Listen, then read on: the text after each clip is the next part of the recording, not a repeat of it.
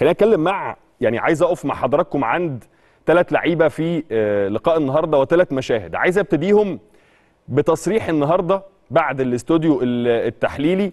كان لإمام عاشور وإمام عاشور قال في آه، هذا ال- التصريح إنه المفروض تصريح كان المفروض يبقى موجود معانا بس أنا هقول لكم إيه اللي اتقال فيه يعني. اللي اتقال فيه إنه أنا مش هرد على الشماتين وعلى الناس اللي بتشمت فيا لأن النادي الأهلي ليه system فأنا بتبع هذا ال system ومش هرد على ال- الهجاصين اللي بيشككوا. أنا يعني يعني بيتكلم بشكل عام يعني على الناس اللي مش هقدر أقول عليه نقد اللي بتتطاول وتتجاوز في حق اللعيبة تحت مسمى النقد وهو ملوش أي علاقة بالنقد. الحقيقة دائما وابدا أو مش دائما في مرات كثيرة جدا كانت الناس بتتكلم على عقلية إمام عاشور وإنه بيرتكب بعض الأخطاء وإنه بيقول كلام لا يليق والكلام ده كله. الحقيقة في الموضع ده في الموقف في الموقف ده في التصريحات دي أنا بسقف لإمام عاشور. بسقف له على تصريحاته دي لسببين. السبب الأول إنه يا ريت تفضل كده يا إمام إن ما تردش على حد اللي يشمت اللي يتكلم اللي يعمل أي حاجة خلي ردك في الملعب وبس لأن بلا شك أنت واحد من أهم مواهب الكرة المصرية بلا جدال. ولو قدرت تفضل بنفس هذه العقلية وتتبع السيستم اللي أنت بتتكلم عليه اللي موجود في النادي الأهلي هيفرق جدا جدا جدا معاك في مشوارك وتاريخك ومستواك وكل حاجة تمت لإمام عاشور في كرة القدم. الحاجة الثانية والمهمة جدا إنه النقطة اللي اتكلم عليها إمام عاشور دي نقطة في غاية الأهمية وانتشرت الفترة اللي فاتت بشكل فج وشكل مزعج جدا جدا جدا فيما يخص ما يسمى وهو ملوش أي علاقة بالنقد نقد اللعيبة.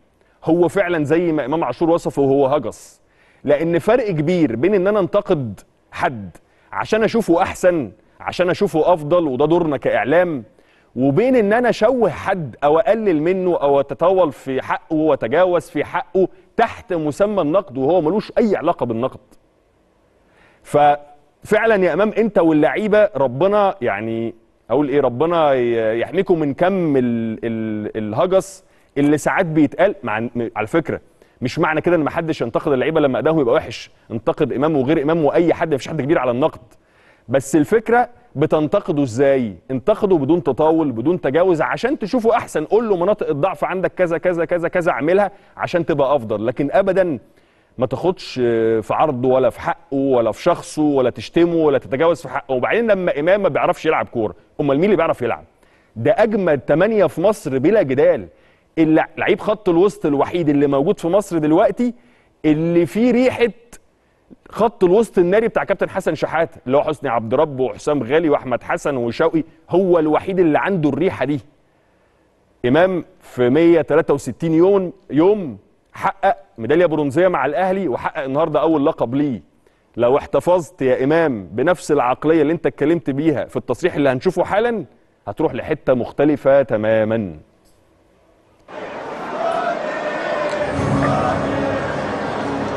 بشكر اللعيبة الرجالة دي وبشكر الجمهور العظيم ده والجهاز الفني طبعا. والحمد لله يعني أنا اتعودت من ساعة ما جيت النادي الأهلي راح بطولة هيجي قدامها عشرة. أنا اتعودت من أول ما دخلت النادي الأهلي بسبب اللعيبة طبعا. والحمد لله ببارك لهم النهارده على الفوز.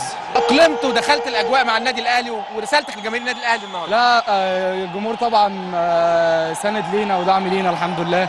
وببارك لهم كلهم وإن شاء الله لسه في بطولات جاية إن شاء الله بإذن الله. التوفيق دايما يا كابتن ربنا إمام. يخليك. حبيبي.